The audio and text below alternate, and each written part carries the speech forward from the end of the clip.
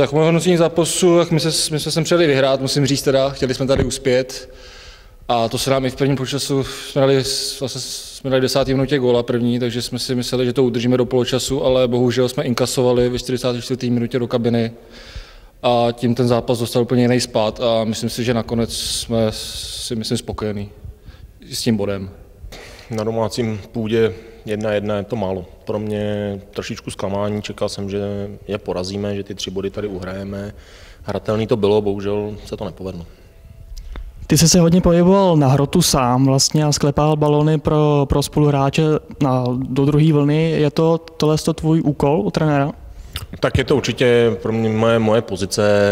Já už bohužel nemám čas na trénování, takže pro mě tohle je jediná možnost, jak eh, klukům pomoct, snažit se sklepnout balon do strán, pomoci jim nějakým způsobem stáhnout ten balon na zem a čekat na balon, který přijde do vápna. Tato je golová hlavička na konci prvního poločasu to vypadalo, že tě tam vlastně pořád hledají těma balonama, akorát, že tentokrát to vyšlo naštěstí a ty se strefil. Opravdu takhle trénujete? Je to takové, je to tak nastavený, měli bychom, měli bychom se snažit eh, tlačit balony do vápna a snažit se mě tam najít, já si najít ten prostor, prostě, abych se do toho k tomu balonu dostal.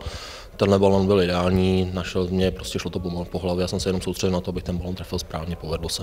No, je to děsná škoda, my jsme se na ně připravovali, věřili jsme si, že tenhle zápas zvládnem, že to urvem, byli jsme na ně vyhecovaný, Kuchy nás na ně připravoval, jak to šlo a pak to bylo vidět, prostě dvě půlky jsme nepustili 30 minut na naší půli a tlačili jsme, tlačili, ale bohužel se nám nepovedla, nepovedlo se nám to urvat. No. Pak jsme si nechali dát jednoho blbýho góla a skončilo to jenom jedna jedna. No.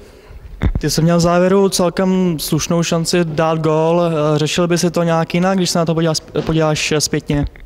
Já si nejsem jistý, jak tam byli v obránci, ale řekl bych, že jsem mohl jít ještě v klidu sám. Já jsem to chtěl dokavať, prostě golman ještě nevěděl, že mám balón, tak jsem to chtěl rychle uklidit k tyči, bohužel jsem to trefil vedle.